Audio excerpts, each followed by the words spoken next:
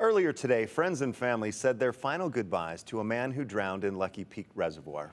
Nonprofit Bruce's Legacy recovered Jose Nunez's body from Lucky Peak one week ago yesterday. And today we're hearing from Bruce's Legacy about those recovery efforts. I also talked with Jose's daughter as well as his girlfriend. The uncertainty and lack of closure. It's been a struggle. It's been a long struggle. Those were the struggles Jose Nunez's daughter Andrea his girlfriend Sarah Gracia Mendoza, and his loved ones dealt with for 22 days. Sarah says the 47 year old got off the boat in Lucky Peak and into the water and never came up. The Ada County Sheriff's Office searched for Jose for days, but eventually suspended their efforts. Which is when Sarah and Jose's loved ones started a GoFundMe page to raise money to pay for nonprofit Bruce's Legacy to travel from Wisconsin to Boise and search for Jose we offer a service to families and, and departments that are looking for drowning victims. We utilize the towfish type sonars. These are four foot long torpedo type devices that are being towed about 15 feet off the bottom. And they uh, translate a, a very amazing image uh, to us at, on the boat.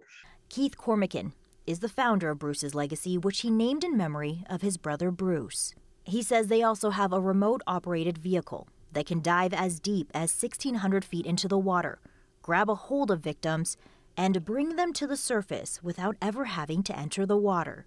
It, was a hard area to search. Um, there, there are, uh, you know, very you know, a lot of variation in depth, which makes it pretty hard. Some a lot of drop offs, uh, a lot of rock, rock air, rocky areas, rock walls. Um, there's some trees there. Sarah and Andrea's mother were also out at Lucky Peak every day, which Keith says added pressure to their search. He searched every avenue, every crevice. And on Monday, August 22nd, Bruce's legacy found Jose.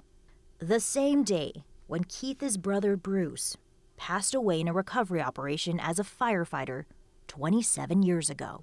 So that was pretty pretty unique uh, for us to have that um, have that recovery done on that date. I get the feeling that um, he, he, does watch over us what we're doing, and uh, and I don't know. I, I it, it certainly happened on that day. So. Bruce's legacy, helping loved ones like Jose's find closure. My legs became weak I could barely stand. I started crying and I was just screaming and like I was just so excited because I was just exhausted from weeks and weeks of search. Being able to help these people uh, in their darkest moments of their lives um, is, is, is very rewarding. It, it's it truly is. Um, uh, to get the hugs from them, um, on, on that day. We we got on the dock and and Sarah came down and and and give us you know give both of us the biggest hugs uh, that you could ever imagine. And as Andrea gets ready to turn 13 next month, she says her dad's smile is what she'll miss the most. It was very funny at times. Um, he always tried to be the best at everything.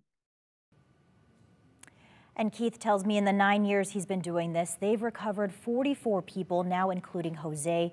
They operate off of donations and only ask the families to cover their travel expenses.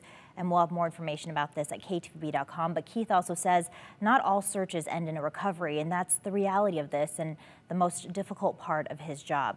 Jose's loved ones also tell me that they want to thank Bruce's legacy, all of the volunteers, and everyone who donated to their GoFundMe.